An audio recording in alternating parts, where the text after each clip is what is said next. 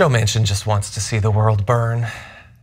He's once again blocking the Democrats' paltry efforts to do something about climate change. And it has become so indisputable that he doesn't care about this and that he is willing to let the climate just go up in flames that even the New York Times, this is how they wrote about his most recent move.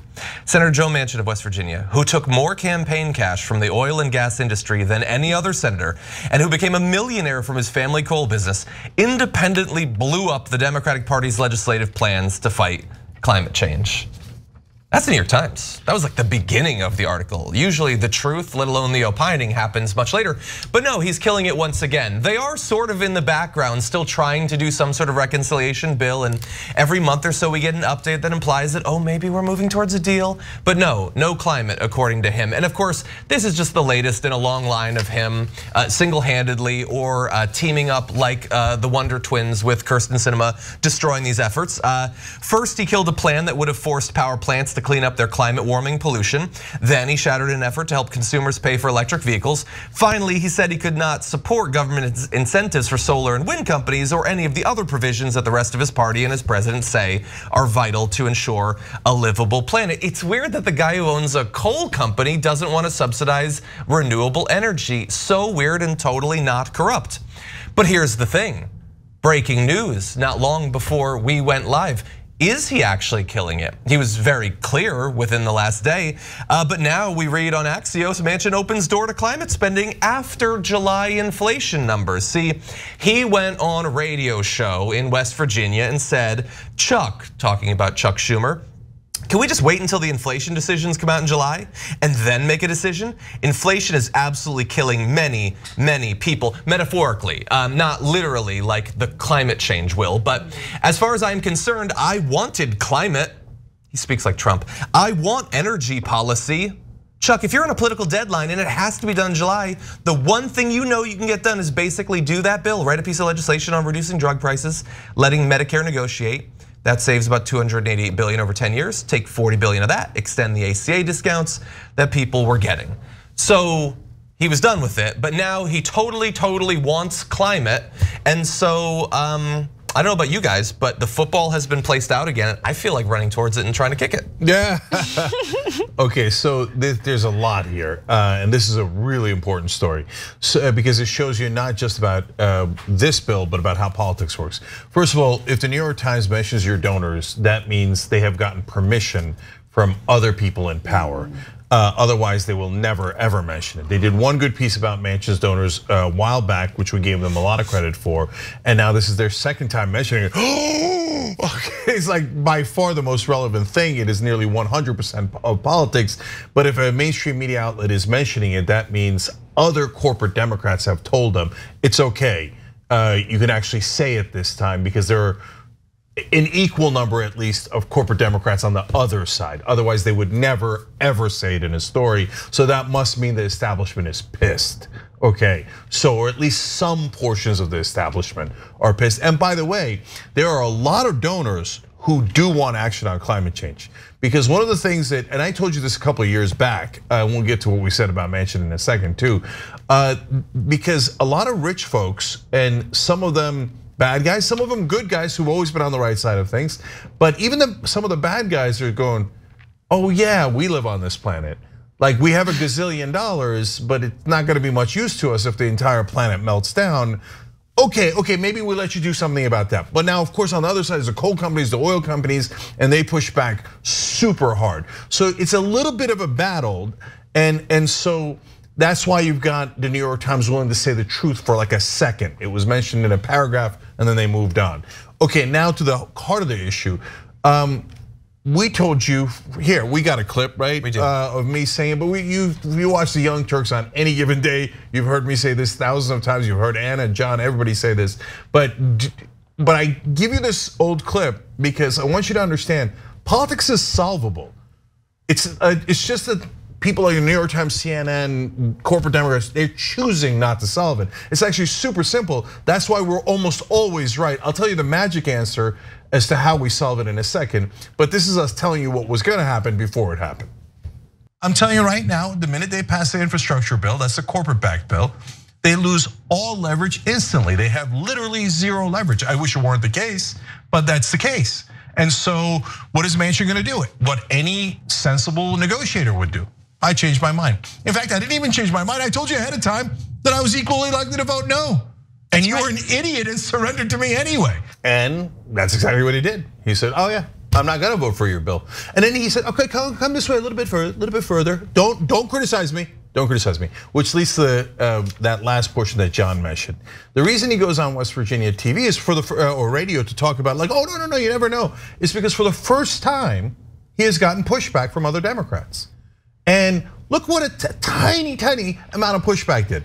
Like, remember, Biden hasn't pushed back and sent his spokesperson out today to say, I will never push back. I'm the weakest person in America. My beloved Joe Manchin has basically done what me and my donors want anyway, right? So Biden's not doing it, but it's like show Senator Whitehouse, Senator Schumer tweaked him a little bit. Like, in the public. Oh, he got mentioned in a newspaper article. They sent out a tweet and he's like, whoa, whoa, whoa, whoa, whoa. I mean, I was, I was, I was, I was gonna do it.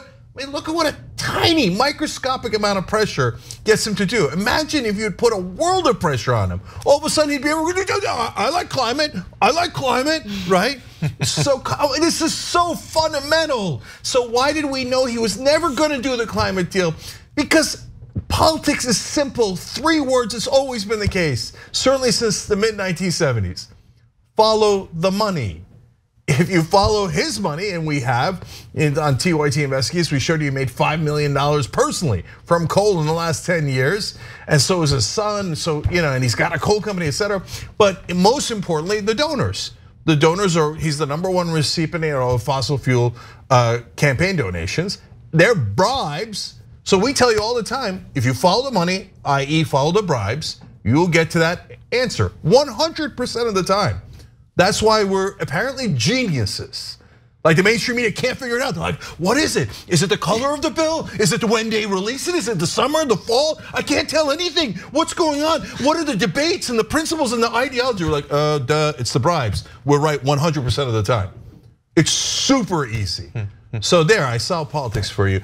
And and what is the other thing we say when corporate uh, useless lying Democrats tell you there's nothing we could do? There's nothing we can do. What do we tell you? Pressure.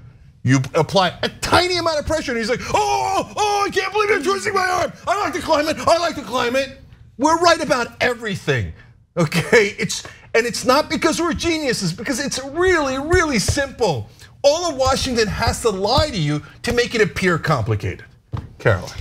Yeah, that's I mean that's absolutely right. I think the strategy that he is ostensibly going with now is that he's worried that with inflation any that voters might look at any attempt to increase spending anywhere might be, you know, really volatile for him. People thinking that this has anything to do with inflation or gas prices. Of course, these things are like very indirectly related as everything is, but you know, the reality is that spending on infrastructure and necessary um, improvements to our climate change policy are absolutely unrelated to you know the gas prices every day that people are seeing and if that were the case like let's go back i believe i read today that um, Manchin in his first election for um, Senate, like his big ad was that he shot a rifle through Obama's um, climate policy or That's whatever. Right. That's right. And and look how much higher gas is now and we haven't done anything. So like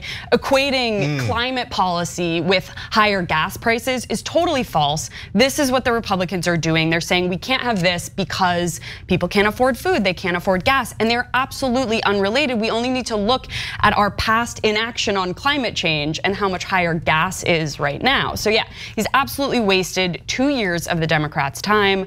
Um, what my question is, is that like, do we really think that this is is just Manchin, or do we think that there are like other Democrats in the wings who, you know, has Manchin basically like acknowledged that he will be the villain? Him and Sinema are like sort of trading off, rotating.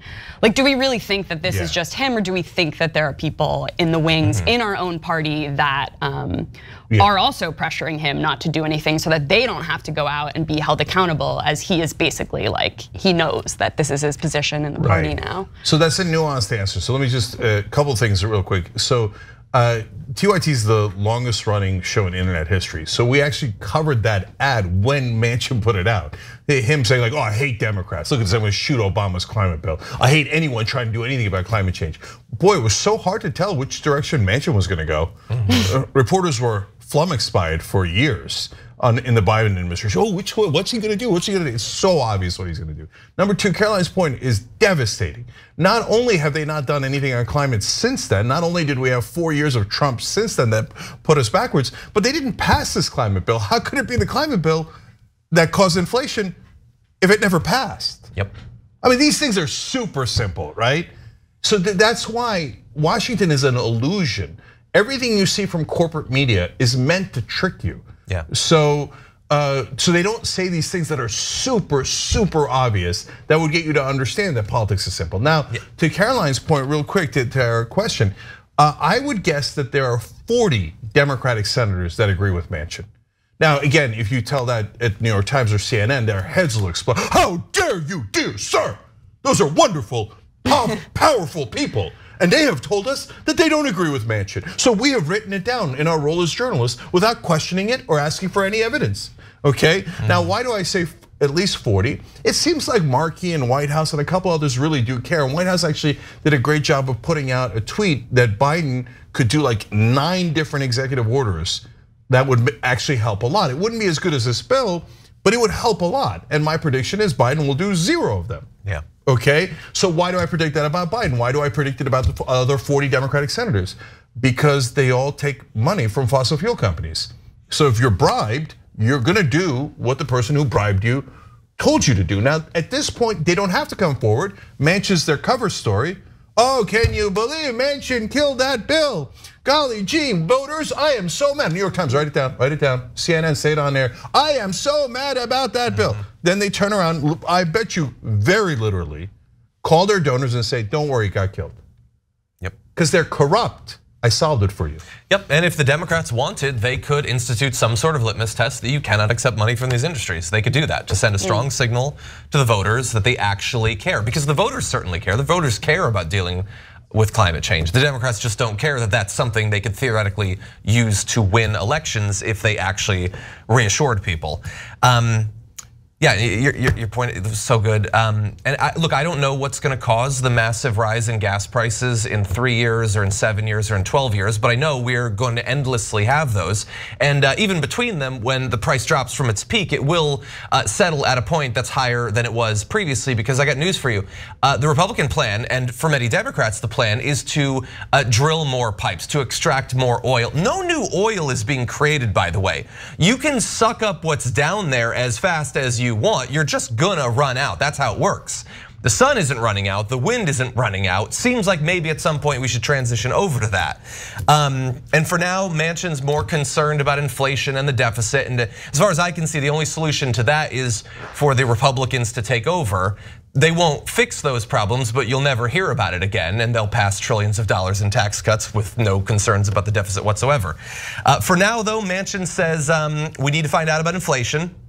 Bureau of Labor Statistics is going to release July's consumer price index on August 10th. So oh, I hope there's good numbers because that's totally why he's doing it or not. Uh, for now, though, we do have some numbers, not those numbers, but uh, well, we know that uh, for the 2021 to 2022 election cycle, uh, Joe Manchin got the most money from a number of different industries, including, seems relevant, coal mining. Also, hmm. all mining and natural gas transmission and distribution, oil and gas, also savings and loans. Hey, tobacco, that's fun. Alternate energy production and services is at number two. I don't know what that actually includes. It sounds like it would be solar and wind. I'm doubting that it does. But if that is what it is, could you guys give him more money, please? Could you become number one so that he'll do the right thing? Also, electric utilities are there. I'm sure none of this is influencing it. And they're not giving him money to influence him. That would be bribery. They just like democracy and want to be a part of it, and thus the money. Um, but honestly, as much as that, as much as like you can find individual, like the, the world, the nation's largest coal producer, Peabody Energy, uh, they gave five thousand dollars to Manchin. TYT investigates reported that. Like that's obvious corruption. Um, Alliance Resource Partners CEO publicly thanked Manchin in a quarterly earnings call. That's good. Uh, the future generations aren't giving him any thanks for dooming them. But for right now, there's a CEO that has nice things to say. Honestly, as important as that donor money is, I'm not even convinced that that's the most important part. Because donor money goes to your campaign and you want that, but that's not your money. You can't get a tune up on your Maserati with that money. You can't buy a bigger yacht with that money. No, for you to do that, you need your own money. And he's getting it very directly, very literally. Here are his yearly dividends from his, his uh, energy company. That is so much money per year. Just in dividends, he's not, understand, Manchin is not digging for coal. I wanna be very clear about this. He is not down there digging up the coal. He just sits back and earns hundreds and hundreds of thousands of dollars.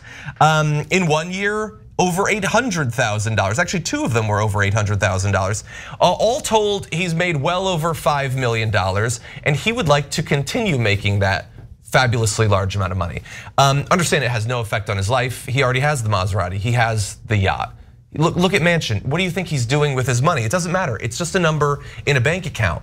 But for that to go up, your future must be doomed, and he is perfectly fine making that trade off. Okay, I just want to say, I'll two things here from me. One is, uh, I want you to know that in this, uh, the things that he killed, he also killed a tax raise on rich people and corporations. Why? He's a rich person and owns a corporation. Boy, yep. this is so complicated to figure out. Um, so, uh, and and to John's point, um, look, the campaign donations also matter, especially for Manchin, because it allows him to protect his coal company and to get contracts for his coal company because he's a really powerful senator. And if you're in the coal business, you'd want to give his company a contract so that he looks out for you. So both his own personal money and the campaign donations wind up helping him get richer and certainly more powerful, uh, etc. And so at the end of the day, now here, uh, I will instantly become the best reporter in uh, in in politics. You ready? Joe Manchin is a liar. he only cares about the money. Boom. No other Washington reporter has ever said that. I just said that. I'm obviously correct. They're all obviously incorrect. I'm the best journalist in America. Thank you. Thanks for watching The Young Turks. Really appreciate it. Another way to show support is through YouTube memberships. You'll get to interact with us more. There's live chat emojis, badges. You've got emojis of me, Ana, John, JR. So those are super fun. But you also get playback of our exclusive member only shows and specials right after they air. So all that, all you gotta do is click that join button right underneath the video. Thank you.